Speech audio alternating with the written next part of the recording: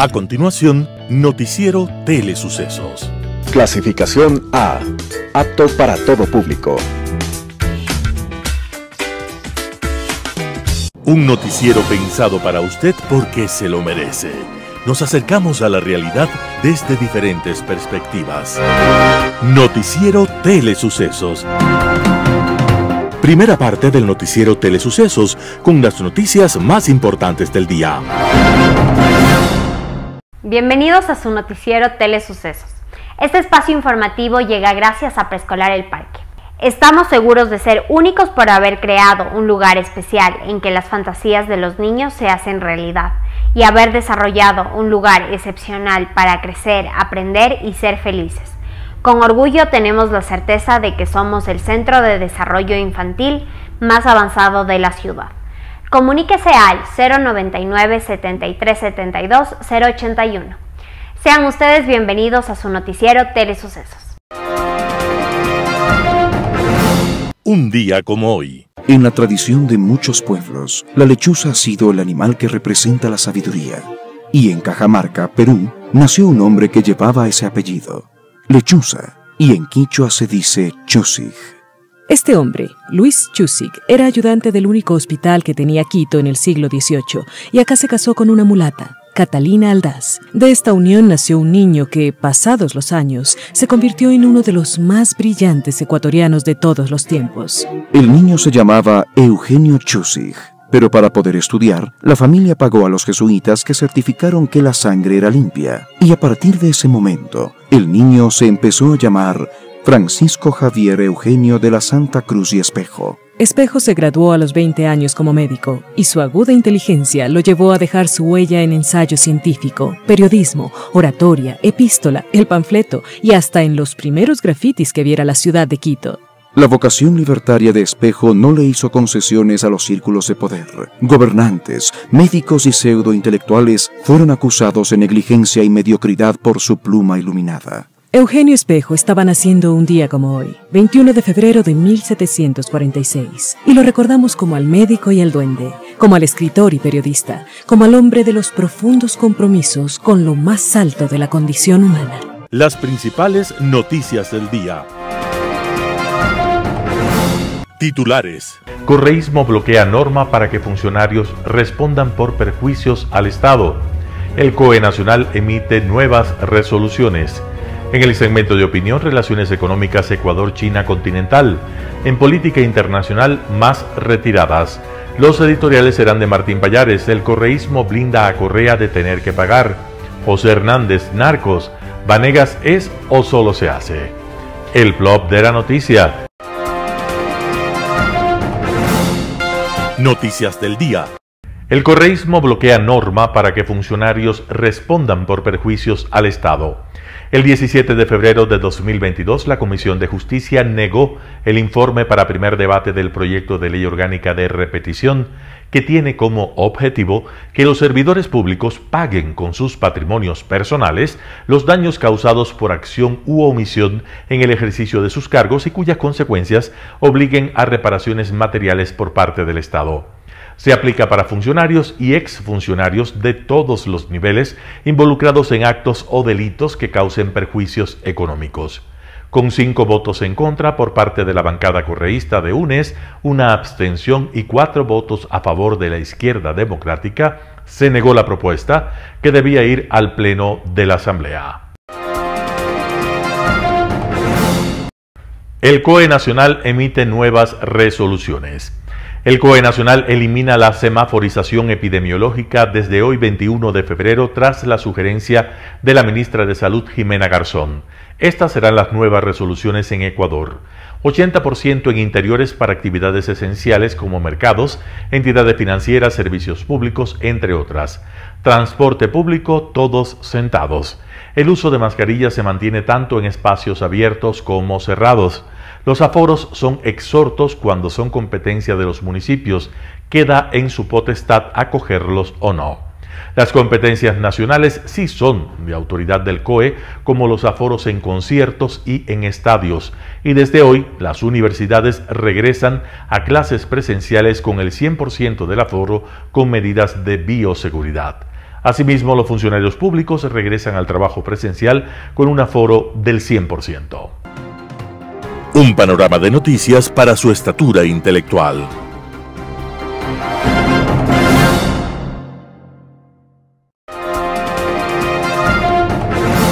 Opinión. Estimados amigos y amigas, gracias por estar con nosotros nuevamente en este programa de Telesucesos. Hoy vamos a hacer un comentario muy importante para el país, no solamente para el gobierno, sino para todo el país. El señor presidente, don Guillermo Lazo Mendoza, acaba de llegar del exterior, de China continental, en una visita con una serie de altos oficiales del gobierno nacional, entre ellos pues varios ministros de Estado, a los efectos de conversar con los altos funcionarios del gobierno de China continental, China comunista, que no tiene nada de comunista actualmente, y fundamentalmente con, con el primer ministro de China. ¿Cuál era el objetivo del viaje? Conversar sobre varios temas que interesan al Ecuador, que interesan a la economía ecuatoriana ¿Cuáles son esos temas? Varios temas, mis queridos amigos, que vale la pena comentarles a cada uno de ustedes que escuchan este programa. En mi juicio personal, fue un acierto el presidente programar el viaje a China continental.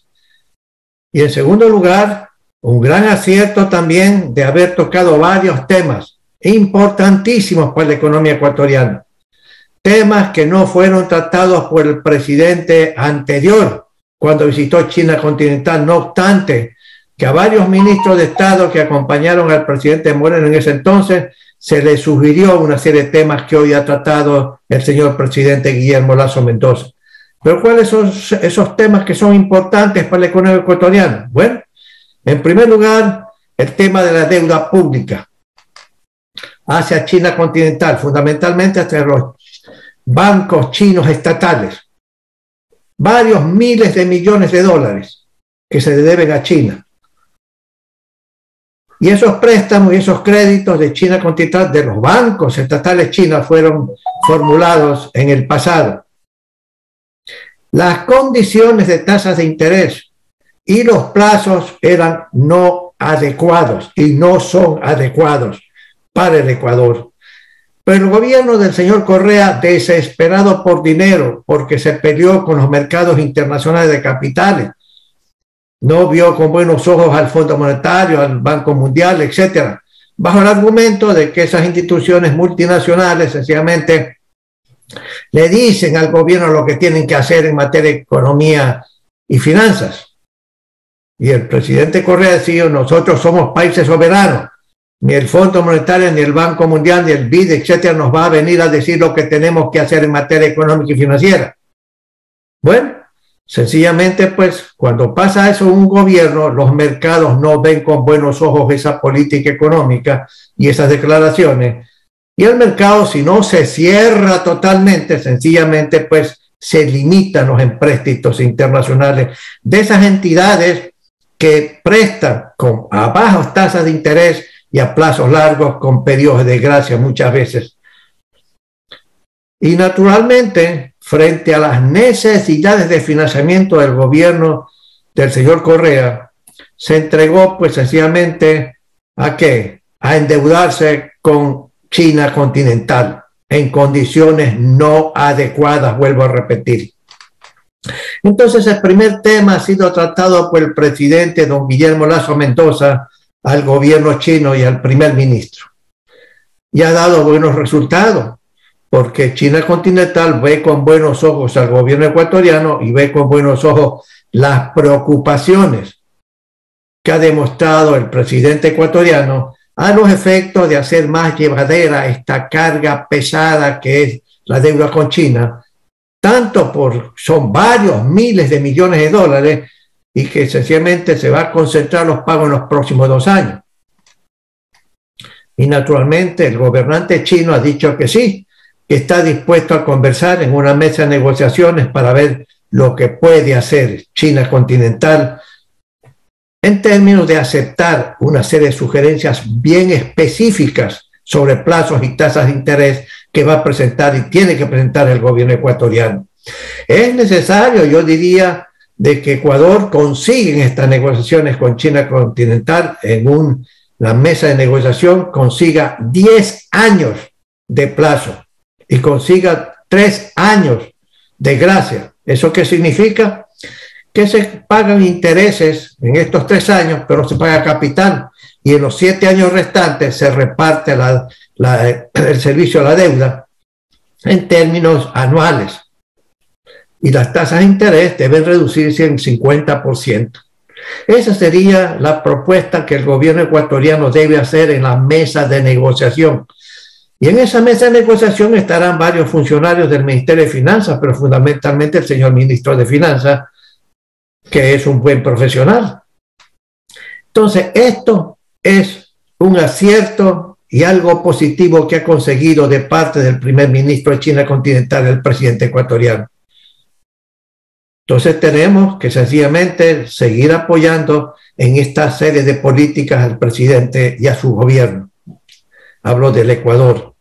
El segundo punto, el segundo punto es el que está ligado a los créditos externos mencionados anteriormente. En la época del señor Correa, en las negociaciones que hizo con los bancos chinos estatales, sencillamente los bancos y el gobierno chino pidió pues garantías y esas garantías fueron dadas en términos de petróleo. Los funcionarios de ese gobierno dirán que no es así, que no es garantía, pero se firmaron paralelamente a los contratos de crédito tradicional, se firmaron contratos de compraventa anticipada de petróleo por varios millones de barriles en garantía, por decirlo así, para asegurar el pago de la deuda de los bancos chinos. Y las fórmulas en ese largo plazo que se decidió, la fórmula para determinar los precios eran convenientes a China continental y no eran convenientes para Ecuador. Y esto ya ha sido denunciado porque ha sido investigado por una serie de personas en el sector privado, especialmente en la Comisión de Fiscalización de la Asamblea Nacional, en la que los miembros de esa comisión, especialmente el presidente de esa comisión de fiscalización, ha calculado que hay varios dólares, más de tres dólares por barril que fueron perjudicados por parte de esa negociación hecha en la época del señor Correa. Porque el petróleo que se comprometió a exportar a través de empresas estatales chinas, el gobierno ecuatoriano, no iba a las refinerías de China continental, sino que en la mitad del camino, en la tercera parte del camino, sencillamente las empresas chinas vendían rápidamente a intermediarios ese petróleo. Y de repente surgía que ese petróleo embarcado por los compromisos que tenía el gobierno ecuatoriano ligados a los préstamos tradicionales de China continental, sencillamente así estaba ligado todo esto.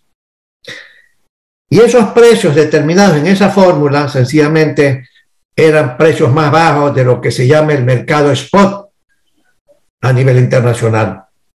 Y se calcula que ha habido un poco más de 3 dólares por barril que fue presentado del Ecuador, porque el precio que salía de la fórmula que aceptó el gobierno ecuatoriano propuesto y negociado por China continental era inferior a lo que es el, precio de mercado en el mercado spot.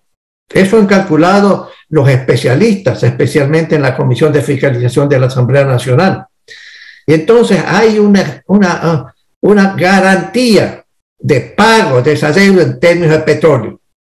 Y hoy por hoy hay como dos mil millones de dólares de la deuda a China continental por parte del gobierno ecuatoriano que sencillamente está ligado a este negocio petrolero.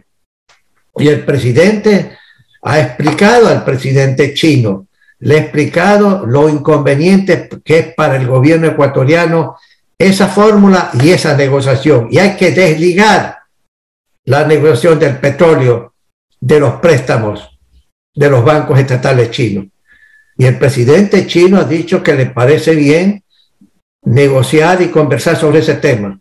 Por lo tanto, desligar totalmente para que China continental libere al Ecuador de la obligación de colocar el crudo por varios millones de barriles a través de empresas chinas en condiciones de precio no adecuadas, hay buenos ojos, buenos ojos por parte del gobierno chino, llegar a acuerdos en esta materia.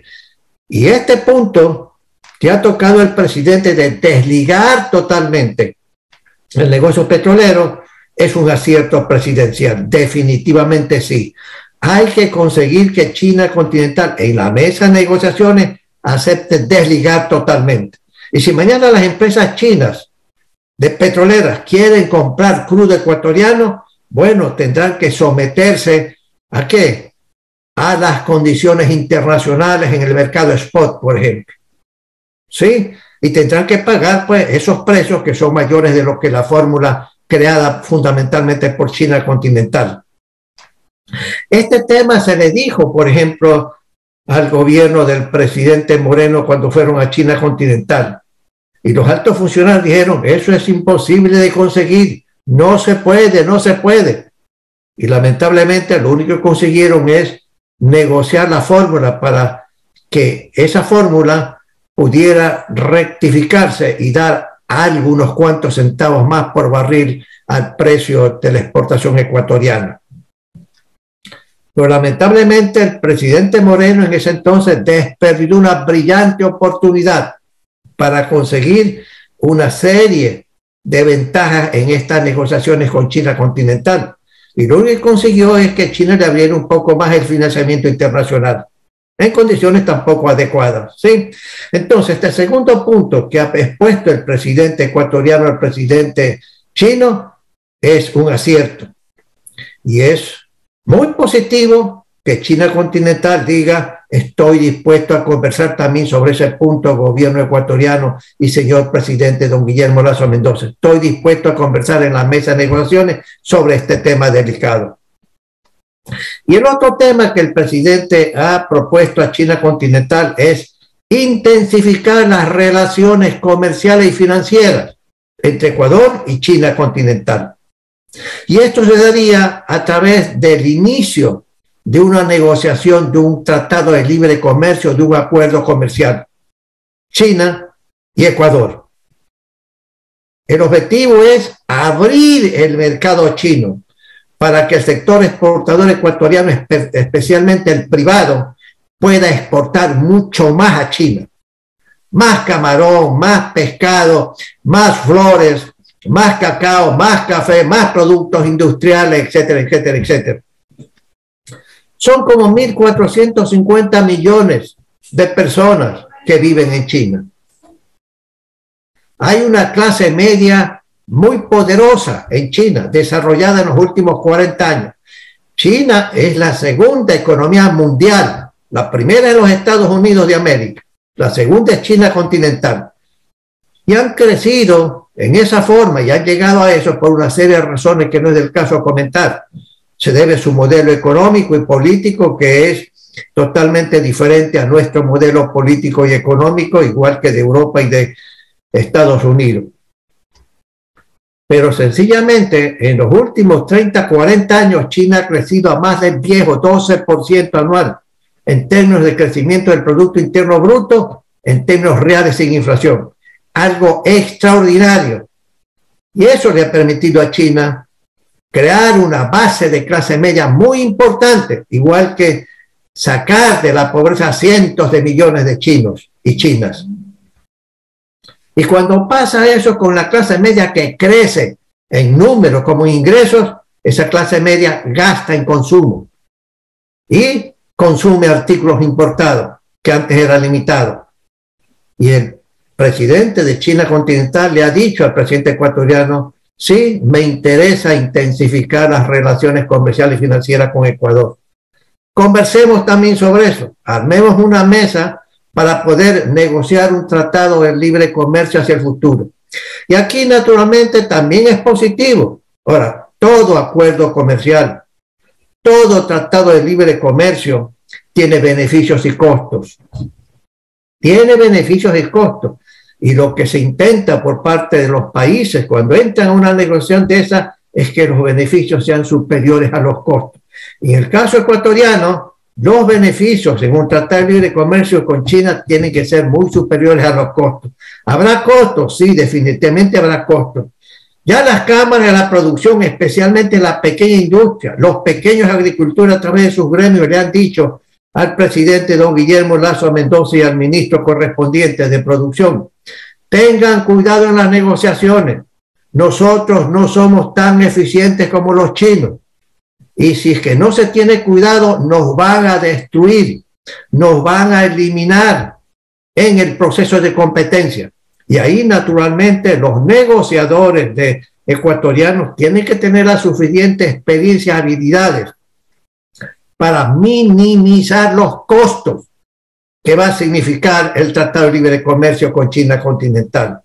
Pero irremediablemente hay que hacer ese acuerdo, minimizando los riesgos y minimizando los costos. Por ejemplo, en, un, en una negociación de esta naturaleza hay varios temas que se conversan. La desgrabación arancelaria. ¿En qué plazo y en, qué, cuántos años tengo que desgrabar como Ecuador, por ejemplo, los impuestos a la importación que yo pongo, impuestos arancelarios, a las importaciones de carros chinos o de cualquier producto de China continental? Entonces ahí Ahí hay que comenzar a ver y decir, ok, no puedo desgravar este tema o esta importación porque eso va a perjudicar a la pequeña empresa, a la pequeña industria, al pequeño agricultor. Tengo que darles plazo a estos pequeños empresarios ecuatorianos para que, ayudados por mí hacia el futuro como gobierno ecuatoriano, puedan aumentar sus niveles de productividad, sus niveles de eficiencia y competir mejor cuando se abra realmente el mercado. ¿Sí? En todo caso, esas son negociaciones que se tienen que hacer y la desgrabación arancelaria tiene que ser lenta y gradual para ciertos productos. Es posible que en otros productos se pueda liberar más rápidamente los impuestos a la importación para productos de China, pero a su vez las exportaciones ecuatorianas hay que lograr que entren de una vez sin pagar impuestos en China continental. Eso también es un acierto y ha conseguido el presidente chino, presidente ecuatoriano, perdón, don Guillermo Lazo Mendoza, de China continental, de que se arme una mesa de diálogo para conversar sobre esa posibilidad de crear un tratado de libre comercio. Y esto va concomitantemente con la visión presidencial de que hay que abrir los mercados para exportar más, exportar más, exportar más. Y en eso el presidente también tiene razón. Ecuador tiene que exportar más, más, más. Ve usted lo que está pasando con el sector camaronero. Hoy, después del petróleo, es el primer producto de exportación. El sector privado camaronero ha hecho unos esfuerzos enormes para incorporar más tecnología a los procesos de cultivo y de cosecha de camarón, más capitales, y eso es enormemente positivo. Entonces, amigos, es conveniente la firma de ese tratado y la negociación naturalmente que tiene que comenzar ya. ¿Sí? Pero también, desde ese punto de vista, Ecuador ha comenzado estos días a iniciar una segunda ronda de diálogos con autoridades americanas para tratar también de firmar un contrato de libre comercio con Estados Unidos. Muchos países de América Latina, Chile, Colombia, México, tienen tratados de libre comercio con Estados Unidos. Y una serie de productos de esos países latinoamericanos entran sin impuestos, o países también centroamericanos que tienen ese tratado de libre comercio con Estados Unidos. Ecuador no tiene. De tal manera que también es un acierto que se comiencen a negociar y avanzar en, aceleradamente en este proceso con Estados Unidos. China es la segunda economía mundial. Estados Unidos es la primera economía mundial. Tenemos un superávit comercial en nuestros negocios con Estados Unidos. Exportamos más a Estados Unidos de lo que importamos. Y es todo lo contrario con China. Con China importamos mucho más de lo que exportamos a China. Necesitamos cambiar ese tema. Pero aparte, ¿cuáles son los otros temas que trató el presidente ecuatoriano con las autoridades de China? Bueno, el tema de inversión. El presidente y sus ministros correspondientes le explicaron no solamente al gobierno, las empresas chinas, sino también a empresas privadas importantísimas de China continental. Se le explicaron todo el proyecto de inversiones de 30 mil millones de dólares que el gobierno tiene desarrollado para estimular la inversión extranjera de China continental, de los sectores privados fundamentalmente. Y de eso tiene sencillamente energía, energía, energía, energía, energía, petróleo y mina. Amigos, amigos, este es el otro punto de cooperación de comercio exterior e inversiones.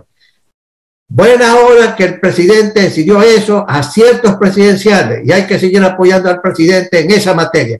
Gracias amigos, estaré con ustedes la próxima semana. Muy amables por haber escuchado este programa de Telesuceso. Global Hoy con Alan Carney.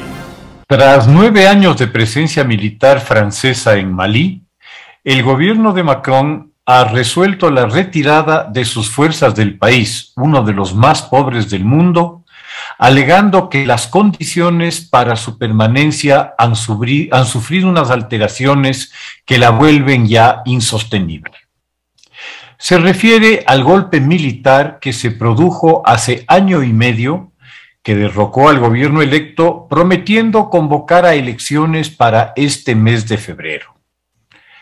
Como al parecer la dictadura no ha tenido tiempo para salvar al país, renegaron de su promesa y resolvieron seguir salvándolo hasta 2025. Ante la protesta del embajador de Francia por esta decisión, la Junta Militar lo expulsó del país en el cual unos 2.400 soldados franceses colaboran con el ejército de Malí en su lucha contra la insurgencia de varios grupos fundamentalistas islámicos de las franquicias terroristas de ISIS o de Al-Qaeda. La estrategia de los fundamentalistas es bastante clara y los ha llevado a buscar controlar la región conocida como el Sahel, una franja semiárida que se extiende desde el Mar Rojo al este hasta el Océano Atlántico al oeste, bordeando el sur del desierto del Sahara. Se trata de una de las regiones más pobres del planeta, enfrentada a la desertificación y al permanente avance de las arenas del Sahara hacia el sur. Este extenso cinturón divide en dos al continente africano y el corredor que se formaría si los insurgentes islámicos son capaces de consolidar su presencia tanto en Malí como en Chad, Níger, Sudán, Somalia y Burkina Faso, tendría sin duda importancia estratégica al unir al Océano Índico con el Atlántico. Al parecer, las dos centrales terroristas islámicas, ante sus graves derrotas en Oriente Medio, han resuelto privilegiar el escenario africano para la reconstitución eventual de un emirato que les ofrezca una base territorial segura. Durante los últimos años se ha visto un gran incremento en la actividad de la insurgencia islámica que ha penetrado algunos de los más importantes estados africanos, como es el caso de Nigeria, donde el grupo terrorista Boko Haram se ha convertido en una piedra en el zapato para el gobierno nigeriano por sus brutales ataques contra escuelas y colegios, con el secuestro de centenares de niñas y adolescentes para ser convertidas en esclavas sexuales de los combatientes islámicos, bajo una retorcida interpretación de la Sharia, la ley islámica, aplicada bajo criterios del siglo VII. También desde Somalia los grupos insurgentes han avanzado hacia el sur, bordeando la costa africana del Océano Índico hasta Tanzania y Mozambique. En este último, provocando una severa disrupción en la incipiente exploración y explotación petrolera de algunos campos en desarrollo, al conquistar y conservar durante varios meses dichas áreas con la consiguiente detención de las inversiones. El anuncio de la retirada francesa de Malí se produce tras un encuentro entre líderes europeos y africanos el pasado miércoles y ha causado consternación en los estados africanos más amenazados por las fuerzas islámicas. Igualmente, otros contingentes que han participado de la lucha contra la expansión del fundamentalismo islámico en la región, incluso la misión de Naciones Unidas, han expresado su preocupación por el anunciado retiro de Francia, que daría lugar a un peligroso vacío de poder que sin duda será aprovechado por los insurgentes. El dictador maliniano Suleimane Dembélé ha restado importancia al retiro francés al afirmar que tras nueve años de su presencia en Malí, la insurgencia ha crecido. Como era de esperarse, no pronuncia ni una sola palabra sobre la actuación de sus propias tropas de cara a enfrentar a sus enemigos.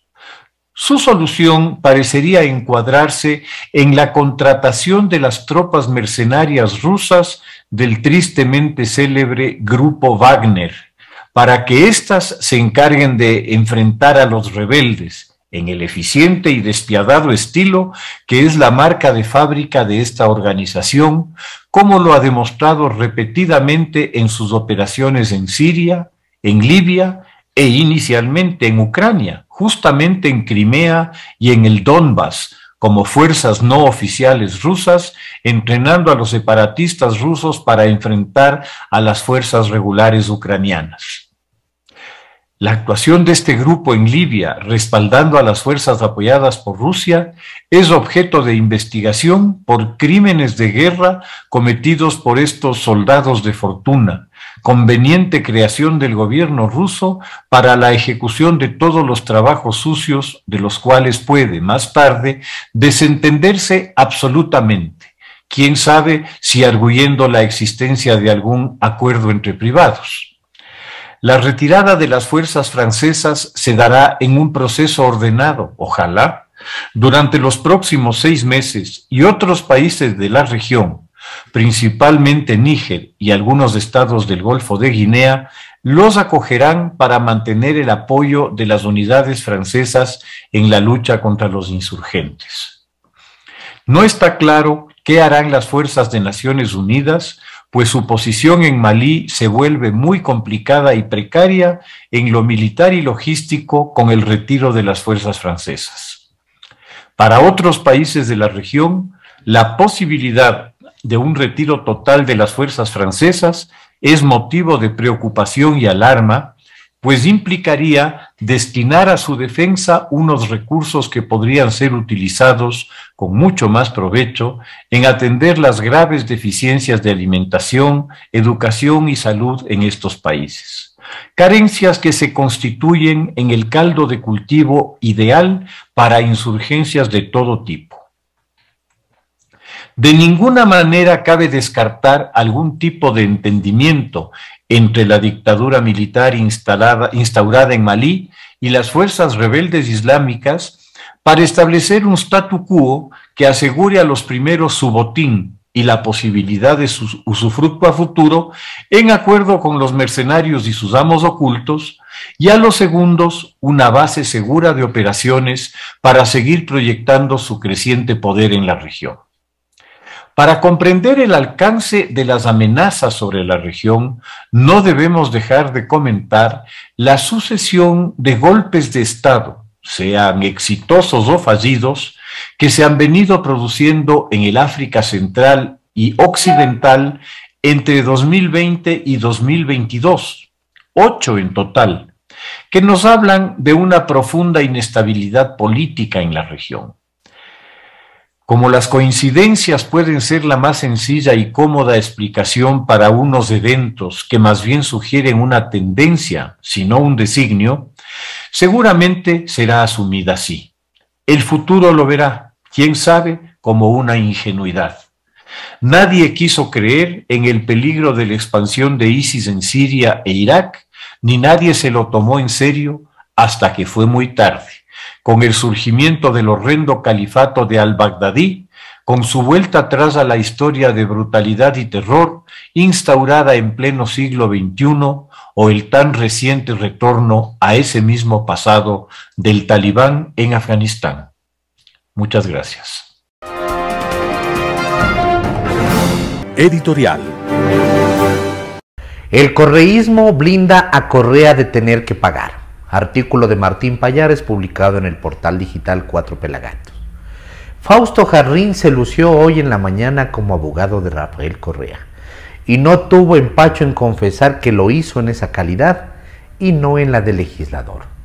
Lo hizo cuando razonó en la sesión de la Comisión de Justicia su voto en contra del informe para el primer debate del proyecto de ley orgánica de repetición. En mi calidad de abogado no puedo aprobar una ley inconstitucional claramente producto del empleado de las transnacionales. Lo dijo refiriéndose al proyecto enviado por el procurador Íñigo Salvador. El proyecto al que se opuso Jarrín podría, en efecto, afectar a su cliente Rafael Correa y a sus principales colaboradores. Su objetivo es incluir en la legislación ecuatoriana varias causales para interponer una demanda de repetición que no existen, entre ella el de los laudos arbitrales y el de la responsabilidad contractual. La ley únicamente establece que quienes hayan ocasionado pérdidas al Estado por una decisión relacionada con sentencias de derechos humanos por la Corte Interamericana de Derechos Humanos, CIDH, por ejemplo, pueden ser demandados por repetición. Es decir, pagar al Estado lo que éste perdió por su culpa. Según la legislación, aquellos funcionarios que hayan ocasionado pérdidas al Estado por haber dado motivos para que un tribunal arbitral falle en contra suyo, difícilmente pueden ser enjuiciados por repetición. Por ejemplo, los funcionarios ecuatorianos que ocasionaron los gigantescos pagos que han tenido que hacer el Estado ecuatoriano, fruto de los fallos de tribunales arbitrales como el de Perenco. En ese caso, el Estado ecuatoriano está condenado a resarcir 370 millones de dólares a esa petrolera francesa por un arrebato populista de Correa y sus ministros. Tampoco están contemplados para repetir por la legislación existente aquellos funcionarios culpables de que el Estado sea condenado por autoridad judicial en caso de no haber cumplido con un contrato, en lo que se llaman los casos de responsabilidad contractual. La repetición tiene por objeto declarar y hacer efectiva la responsabilidad patrimonial por dolo o culpa grave de los servidores públicos en el ejercicio de sus funciones, dice el proyecto cuando el Estado ha sido condenado a reparar materialmente mediante sentencia o auto definitivo en un proceso de garantías jurisdiccionales o en una sentencia o resolución definitiva de un organismo internacional de protección de derechos. El proyecto objetado por los asambleístas correístas también prevé la repetición para los funcionarios que por negligencia produjera daños ambientales o los servidores responsables de realizar el control ambiental. El voto de Jarrín no fue el único de su partido, obviamente. También votaron en contra de la repetición los otros tres legisladores correístas de la comisión, José Hualchaca, Sofía Espín y Yajaira Urresta. La diferencia con Jarrín, sin embargo, es que luego de su muy particular razonamiento del voto, en el que dijo que el proyecto es inconstitucional, Ricardo Vanegas se abstuvo. El asambleísta de Pachacútiga afirmó que luego de escuchar a Jarrín le había nacido una preocupación y prefirió abstenerse en medio de la absoluta sorpresa de los otros integrantes de la comisión. La, abstención de Vanegas fue el voto que permitió al correísmo echar a tierra sobre el proyecto, quedando como única posibilidad que en la próxima sesión de la comisión se pida la reconsideración de la votación y Vanegas decida cambiar de opinión. El voto en contra del correísmo no tuvo ningún razonamiento jurídico ni doctrinario, únicamente lo que dijo Jarrín. Es decir, que el proyecto es inconstitucional, sin citar una sola norma de la Constitución, y que fue presentado por el procurador Íñigo Salvador, a quien el correísmo pretende responsabilizarlo por el laudo arbitral a favor de Perenco. Luego de la votación, la noticia se regó por las redes sociales. Ahí aparecieron las cuentas del aparato de comunicación del correísmo para argumentar algo que sus legisladores ni siquiera mencionaron en la sesión. Que no es necesario aprobar una ley de repetición porque la actual legislación ya la contempla. Sostienen, por ejemplo, que la Ley Orgánica de Garantías Jurisdiccionales y Control Constitucional en su artículo 20 establece que, declarada la violación del derecho, la juez o juez deberá declarar en la misma sentencia la responsabilidad del Estado o de la persona particular. Esa versión, sin embargo, fue refutada por expertos que se habían presentado en semanas anteriores ante la comisión. Entre estos, Juan Pablo Aguilar, quien destacó que el proyecto organiza el tema y permite finalmente poner en práctica de forma realista el mecanismo. La Ley Orgánica de Garantías Jurisdiccionales establece que la repetición únicamente aplica en contra de los funcionarios en los casos donde hay sentencias por temas de violación a los derechos humanos. Hay otro hecho que contradice la afirmación del aparato comunicacional del correísmo sobre que la ley ya contempla la repetición. El Tribunal Contencioso Administrativo ya emitió un auto inhibitorio, el 17811-2019-01129, donde afirma de forma categórica que ni de los casos donde hay laudos arbitrales, ni los actos donde hay responsabilidad contractual, permiten seguir juicios de repetición a los funcionarios. En ese auto inhibitorio, el Tribunal Contencioso Administrativo no aceptó un alegato de la Procuraduría para exigir la repetición a los funcionarios vinculados con el laudo arbitral del caso. Chevron Texaco en este caso. El correísmo logró y blindar, al menos por el momento, a sus cuadros responsables de haber tomado decisiones que ocasionaron pérdidas al Estado en instancias judiciales, o a los corruptos que se llevaron dinero público con contratos que tienen sobreprecios.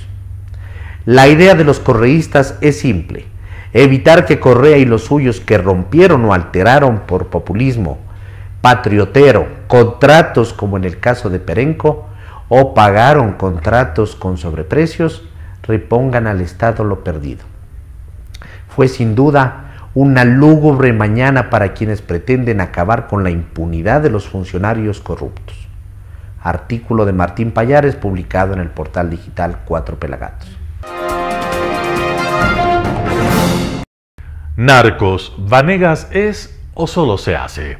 José Hernández, Cuatro Pelagatos. Pachacutic y en particular Ricardo Vanegas, uno de sus asambleístas, están a punto de graduarse con honores de irresponsables. Han anunciado que preparan un juicio político contra la ministra de Gobierno por incumplimiento del deber. La inseguridad y la falta de una política criminal efectiva son, dijo Vanegas, causadas por la ministra Alexandra Vela. Vanegas le endosa, maltratando el idioma, que en Guayas todos los días las personas mueren por asesinato o a través de muertes violentas, son ahorcadas en puentes o asesinadas en las calles como el exalcalde del cantón El Triunfo. Estar preocupado por la inseguridad es una cosa, sacar partido político de la violencia es otra. Pero pretender ignorar las características profundas del fenómeno que está viviendo el país y Guayas en particular es ser insensato, cínico. Es claro que Ecuador entró en una etapa que recuerda lo que vivió Colombia en los 80 y en los 90 del siglo pasado y lo que ha vivido México con énfasis en las últimas dos décadas. Hay similitudes, pero también enormes diferencias, sobre todo con Colombia. No obstante, se habla de esos dos ejemplos porque las altas tasas de asesinatos y de violencia están vinculadas a la acción de organizaciones criminales transnacionales y locales conectadas con un negocio ilegal y millonario, el narcotráfico. En cada caso, Colombia, México y quizá más aún Ecuador, hay estados débiles que carecen de recursos suficientes, con altos niveles de informalidad, con marcos normativos deficientes y una población muy poco apegada al cumplimiento de la ley. En ese contexto, y con sociedades con profundas desigualdades económicas, el narcotráfico actúa. corroe la baja institucionalidad, produce violencia, incrementa la fragmentación y la sensación de caos y seduce a jóvenes de barriadas pobres. La integración a esas organizaciones y el dinero fácil son alicientes que en muchos casos pagan con sus vidas. Pachacutic y Vanegas en especial están haciendo creer que esos fenómenos, Ecuador metido en la globalización del narcotráfico, lo genera una ministra. Y más aún, que depende de su acción detenerlo. ¿El alelamiento ya es de todos? Esos asambleístas no ven, al parecer, las cifras de lo que está haciendo el Estado ecuatoriano. 210 toneladas de droga fueron incautadas el año pasado, la mitad de ellas en Guayas. El número de bandas desmanteladas y de delincuentes detenidos habla de una voluntad política del gobierno de hacer frente a este flagelo. No obstante, el país está atrasado. Correa, lejos de encarar el problema, lo facilitó y Moreno no le dio ningún tratamiento estructural. Una política de Estado necesita, como se dijo en otro artículo, y entre otras cosas, una doctrina, un marco legal, una logística, un pacto político, una fuerza de tarea especializada, un altísimo nivel de inteligencia y un presupuesto. El simplismo del asambleísta Vanegas es comparable a la ingenuidad del gobernador de Guayas cuando declara que el norte de esta guerra es cero narcotráfico y cero sicariato, con una enorme diferencia. Vanegas es un politiquero con ganas de sumar cabezas en su galería de casa. Pablo Arosemena derrocha empeño, sentido del deber y además valentía. Sin embargo, cambiar una ministra, pretendiendo que así se soluciona el problema es tan iluso como creer que el narcotráfico desaparecerá producto de una política de seguridad que además está en pañales. El narcotráfico desaparecerá cuando se legalicen las drogas. Eso sucederá el día que el conjunto de estados de todo el mundo renuncia a la Convención de Viena contra el tráfico ilícito de narcóticos psicotrópicos que se firmó en 1988 y que cataloga como crimen el tránsito y transporte de drogas. Hasta entonces, nada asegura que el narcotráfico no cumpla en Ecuador con sus particularidades el proceso que sigue en Colombia o en México. Aquí no hay guerrillas ni grupos paramilitares, tampoco hay cultivos ni procesamiento pero sí hay contrabando, tránsito e embodegamiento de cocaína. Las rutas para llegar al puerto de Guayaquil son tan codiciadas como los puntos para cruzar la frontera de México a Estados Unidos. Esos son territorios tan rentables como peligrosos. Hay que sumar también en Ecuador el mercado interno, la famosa venta al menudeo, que agrava también la guerra entre organizaciones criminales. En febrero del año pasado, con motivo de las matanzas de las cárceles, apareció en Ecuador un comunicado supuestamente del cártel de Sinaloa y de los choneros.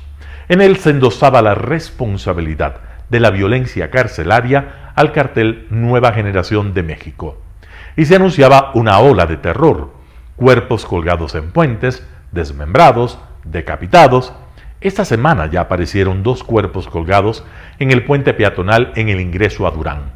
También en Durán, en noviembre pasado, fue encontrada una cabeza en un saco de yute y el cuerpo a dos kilómetros de allí. Como este, hay más casos que retratan una violencia utilizada por cárteles mexicanos. Esa violencia no tiene por ahora en Ecuador un significado político y parece circunscribirse a personas involucradas con este tipo de delito. Eso explica su concentración. Guayaquil, San Borondón, Durán, la hace impredecible y además difícil de controlar. Por supuesto que ya ha afectado a guías penitenciarios y a jefes de seguridad del puerto y no se descarta que se extienda a policías, periodistas y al sistema judicial. El narcotráfico no desaparecerá del país porque se cambie un ministro. Y la política de Estado que se requiere para morigerar su capacidad destructiva, que seguramente empeorará, requiere un acuerdo político, no pésimos mensajes y prácticas como los que propone el irresponsable Ricardo Vanegas a nombre de Pachacutic. José Hernández, Cuatro Pelagatos.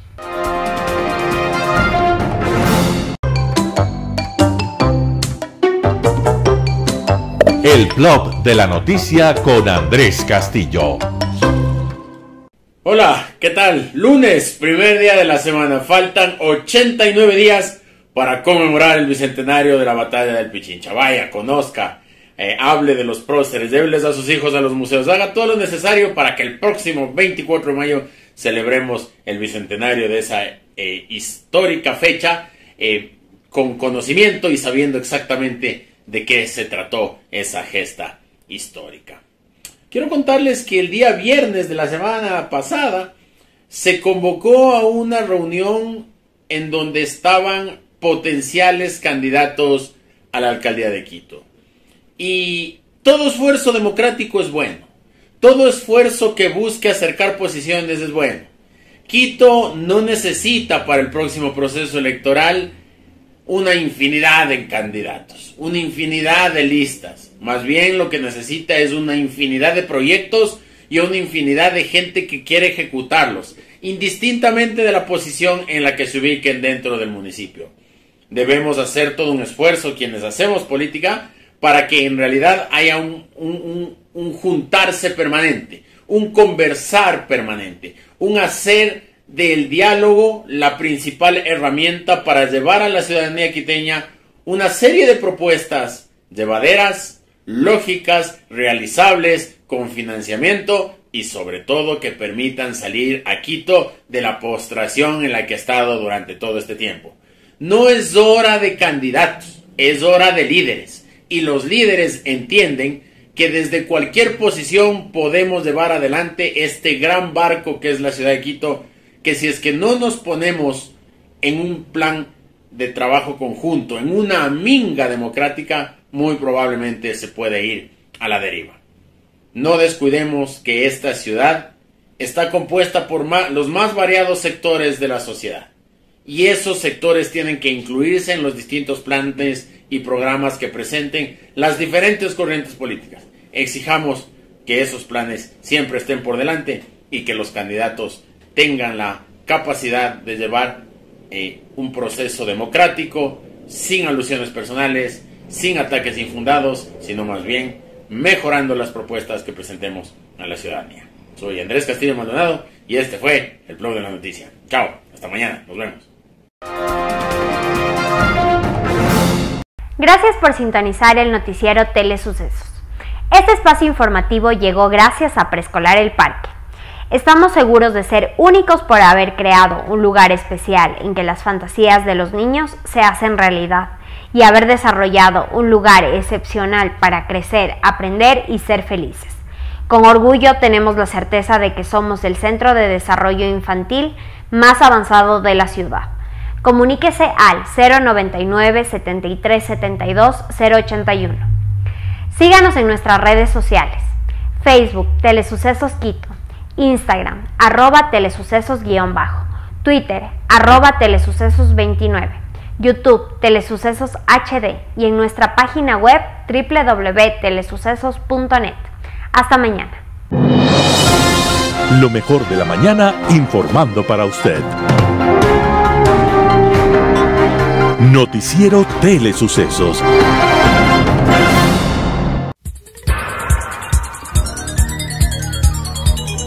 Las opiniones vertidas en este espacio por la producción y dirección del programa son de exclusiva responsabilidad de sus autores y de quienes intervienen en ellos.